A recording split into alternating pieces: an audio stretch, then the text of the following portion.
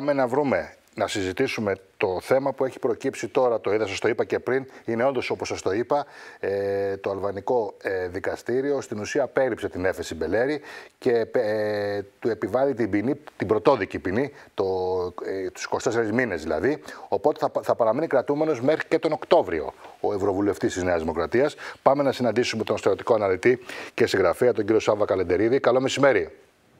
Καλό μεσημέρι κύριε, κύριε Φίλιπ Ε, περίπου αναμενόμενη νομίζω ήταν αυτή η απόφαση που καταλαβαίνω, κύριε Καλτερίδη. Ε, εντάξει, τραβηγμένη πάντως, είτε ήταν αναμενόμενη είτε όχι, είναι τραβηγμένη διότι νομίζω ότι αυτό το θέμα ε, δεν ξέρω σε τι αποσκοπεί η Αλβανία, πάντως δεν, δεν πιστεύω να υπάρχει κάποιος που, από αυτούς που το έστησαν που να είναι ευχαριστημένος από αυτή την εξέλιξη.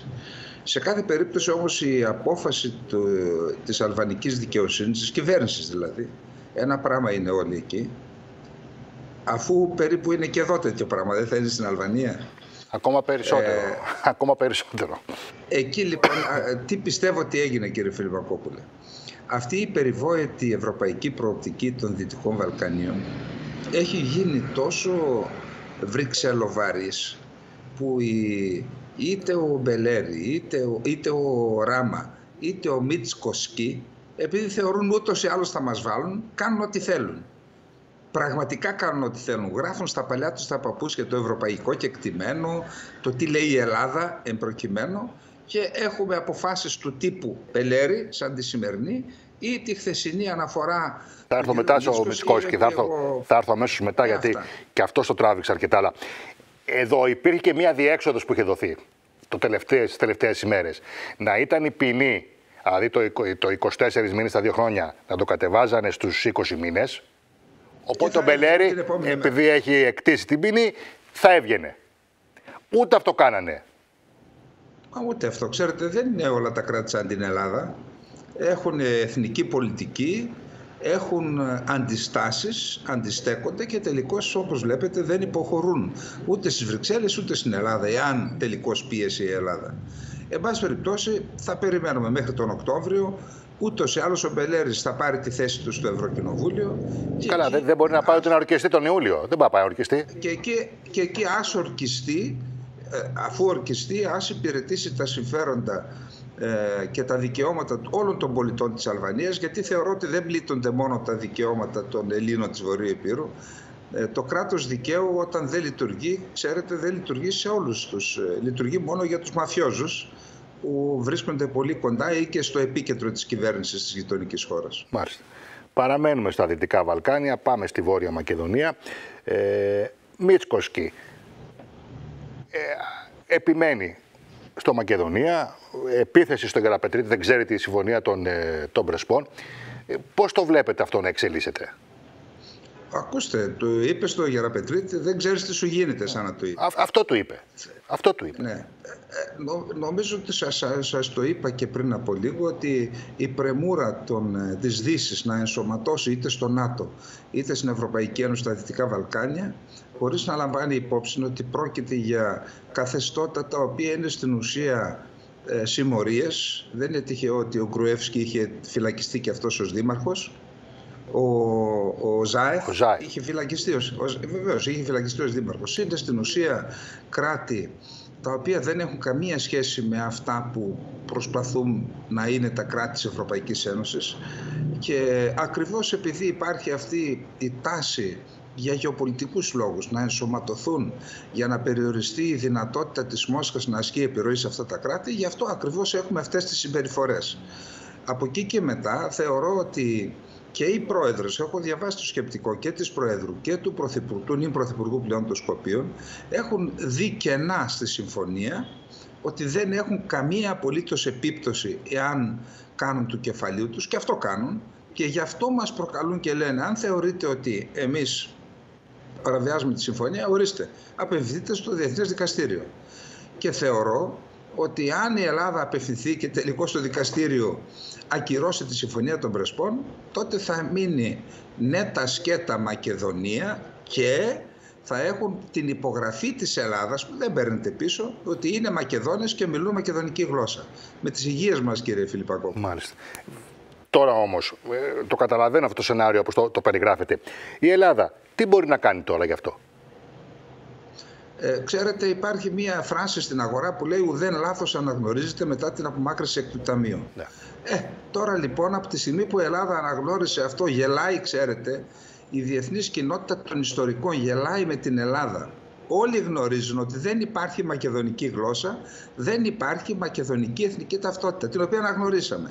Τι να μπορεί να κάνει πλέον η Ελλάδα; Και ξέρετε προχθές το προτείνω στους τηλεθεατές και τις τηλεθεάτριες σας να αναζητήσουν στη Wall Street Journal άρθρο ενός αρθογράφου της Wall Street Journal που πήγε στα Σκόπια ήθελα να δω οι άνθρωποι τελικώς τι σημαίνει αυτή η διαφορά με την Ελλάδα και εκεί κορυφαίοι αρχαιολόγοι και ιστορικοί των Σκοπίων λένε ότι όλα αυτά που έχουμε, τα αγάρματα που έχουμε ορθώσει στα Σκόπια για να υποτίθεται για να ε, στηρίξουμε την εθνική μας ταυτότητα τα περισσότερα είναι οι Βούλγαροι ήρωες και τα άλλα Έλληνες που δεν έχουν σχέση με εμάς.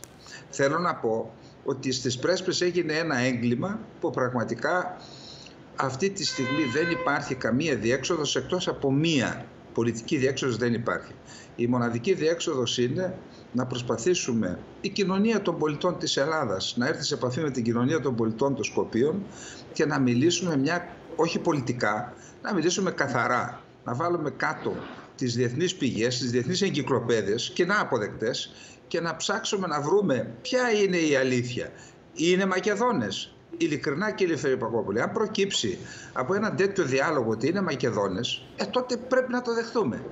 Όμως δεν υπάρχει τέτοια δεν υπάρχει τα περίπτωση. Οι άνθρωποι, είναι, οι άνθρωποι είναι Βούλγαροι, πολέμησαν ε, επί μακεδονικού αγώνα με τους Βουλγάρους με τους κομιτατζίδες είναι βούλγαροι οι άνθρωποι. Τους κάναμε Μακεδόνες εμείς επειδή δεν μπόρεσαν οι ελληνικές κυβερνήσεις μετά το 1945, επειδή τότε ο Τίτο ήταν το χαϊδεμένο παιδί, ο χρήσιμος παίκτης στα Βαλκάνια για τη Δύση, όταν έκανε την, όμως, τη Σοσιαλιστική Δημοκρατία της Μακεδονίας, η Ελλάδα δεν αντέδρασε ακριβώς επειδή εξυπηρετούσε η Ιουγκοσλαβία του τύπου, τα, του Τίτο, τα συμφέροντα της Δύσης. Πέσαμε σε αυτή την παγίδα από τότε, τα λάθη ξεκινούν από τότε και τώρα πλέον είναι πολύ δύσκολα να αλλάξει αυτή η κατάσταση εκτός από τον τρόπο που σας είπα πριν από λίγο. Βέβαια, έχουμε και το δικαίωμα βέτο στην, ε, στην ευρωπαϊκή προοπτική και της Αλβανίας και των ε, Σκοπίων.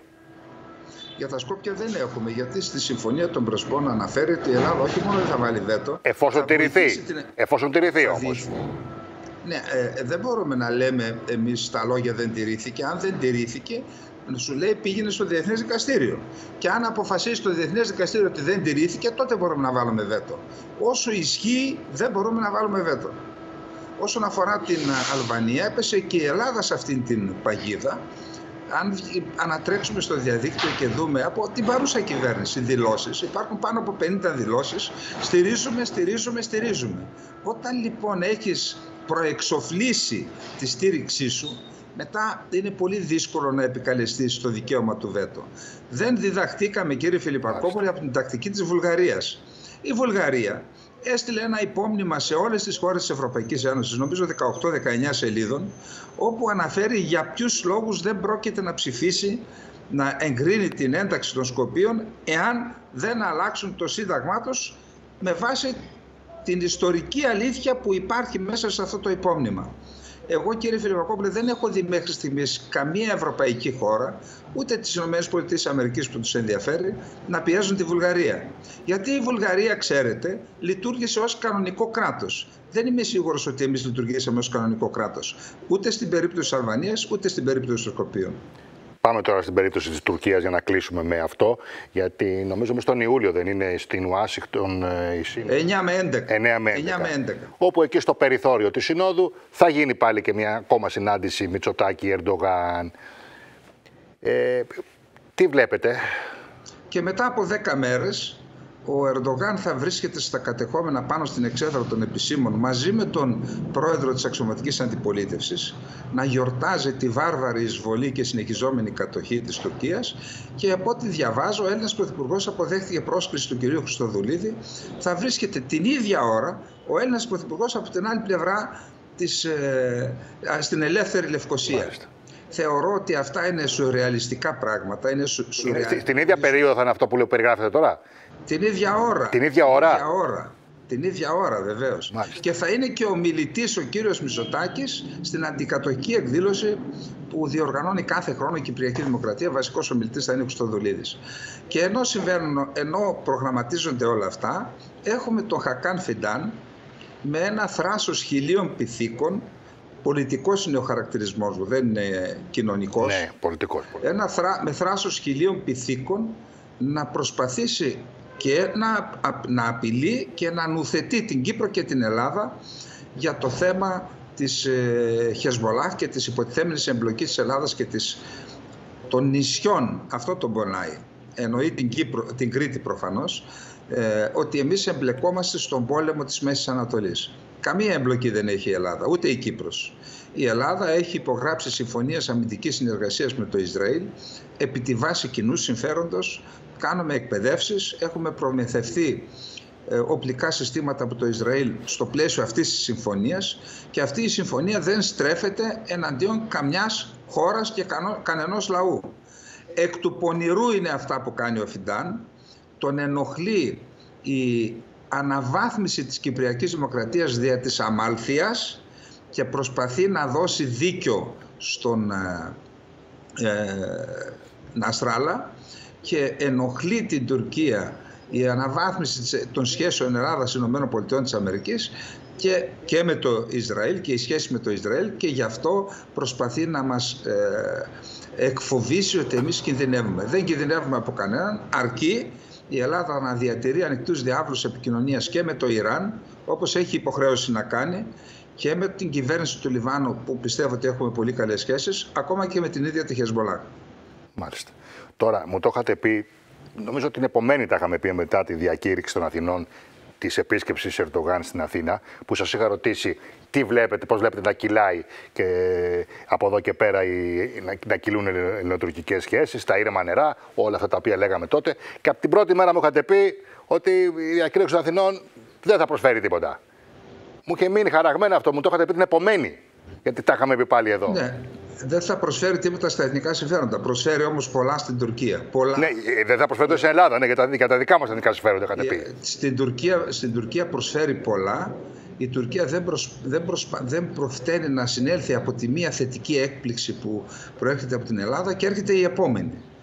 Και δεν είναι μόνο ε, ο ΟΑΣΕ. Ξέρετε, αυτό που γίνεται με τον ΟΑΣΕ, κύριε Φιλιππακόπουλε, πραγματικά, δηλαδή δεν υπάρχει κάποιος στο Υπουργείο Εξωτερικών, στην κυβέρνηση, να βγάλει ένα φάκελο, να δουν ποιος είναι ο Φερεντούν Συνερλιόγλου. Ο Φερεντούν Συνερλιόγλου είναι ένας μαύρος, κατάμαυρος φασίστας Τούρκος εθνικιστής και βαθύς ανθέληνας. Το γνωρίζουν οι παλαιοί διπλωμάτες. Και η Ελλάδα με ποια λογική συμφωνεί να προτείνει, προσέξτε, για τη θέση του Γενικού Γραμματέα του, του, του ΟΑΣΕ τον Φεριτούν Συνερλίογλου, έναν φασίστα ανθέληνα, ο οποίος είναι υπέρ της ολοκληρωτικής κατάληψης της Κύπρου από την Τουρκία, προσέξτε, σε έναν οργανισμό, του οποίου οι, οι λόγοι ύπαρξης είναι τα ανθρώπινα δικαιώματα, η κανονική διεξαγωγή, δίκαιη διεξαγωγή των εκλογών, ε, το κράτος δικαίου, ο σεβασμός των μειονοτήτων, δηλαδή και στα τέσσερα η ελεύθερη δημοσιογραφία και στα τέσσερα η Τουρκία είναι πρωταθλητής παραβιάσεων. Και εμείς δίνουμε στην ουσία στην Τουρκία γινόμαστε πλυντήριο σε αυτό το καθεστώς το Ισλαμοφασιστικό καθεστώς που δεν σέβεται κανένα δικαίωμα κανενός. Και προτείνουμε σε αυτόν τον οργανισμό βάλαμε το λύκο να φυλάει τα πρόβατα. Και εξυπηρετούμε και την κυρία Τελαλιάν την οποία την πέταξε με τις κλωτσιές οδένδιας από το Υπουργείο Εξωτερικών και της έδωσε άσυλο ο κύριος Μητσοτάκης. Τι να πω, κύριε Φίλιππ Παπαπολή, ειλικρινά. Αυτά και ξέρετε, φέρομαι σε δύσκολη θέση και την Κυπριακή Δημοκρατία. Γιατί εκεί υπάρχει μια σιωπηρή αποδοχή. Η διαδικασία αυτό προβλέπει και η Κύπρος αναγκάζεται να στραφεί εναντίον της επιλογής της Ελλάδας. Και να πει όχι για να αρχίσει η διαδικασία από την αρχή με φανερή ψηφοφορία για τον ΟΑΣΕ. Κύριε Καλαντερίδη, ευχαριστώ πάρα πολύ για τη συζήτηση και την ανάλυση. Ε, δεν σας, δεν σας ευχαρίστησα, ξέρω, αλλά ξέρετε, Όχι, η κατάσταση είναι δυσάρεστη. Ας, δεν το θέμα να ευχαριστήσετε εμένα. Αυτές είναι οι πραγματικότητες που λέτε. Τα λέτε πάντα με στοιχεία, με ονόματα, με, δεν, δεν λέτε ποτέ πράγματα στον αέρα. Ε, δεν είναι καλά τα πράγματα γενικότερα πάντως. Αυτό, αυτό είναι το, το θέμα. Λοιπόν, να είστε καλά. για την ε, φιλοξενία. Εγώ ευχαριστώ. Καλό μεσημέρι.